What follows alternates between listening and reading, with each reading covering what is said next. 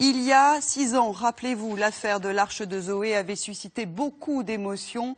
Éric Breteau et Émilie Lelouch prétendaient qu'ils voulaient sauver des orphelins du Darfour. Ils avaient euh, tenté d'organiser une filière d'adoption vers la France. Aujourd'hui, la justice vient de les condamner à trois ans de prison, dont deux fermes pour escroquerie. Ils ont été immédiatement arrêtés et incarcérés. Florence Trintignac, Denis Basson-Pierre. Elle fait face aux caméras mais ne prononce pas un mot. Contre toute attente, Émilie Lelouch s'est présentée au tribunal. Devant elle, Éric Breteau s'est faufilé jusqu'à la salle d'audience. Les deux responsables de l'Arche de Zoé avaient refusé au mois de novembre d'assister à leur procès. Mais aujourd'hui, ils sont venus pour écouter leur jugement. Tous les deux sont condamnés à trois ans de prison, dont deux enfermes. Pour le logisticien de l'Arche de Zoé, condamné à six mois de prison avec sursis, leur absence a joué contre eux. Je crois qu'il y a eu de l'écoute pendant ce procès.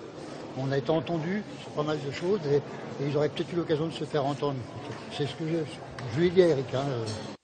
Éric Breteau et Émilie Lelouch ont été écroués à l'issue de l'audience. En 2007, entourés de bénévoles, ils avaient tenté d'exfiltrer vers la France 103 enfants tchadiens présentés comme des orphelins du Darfour.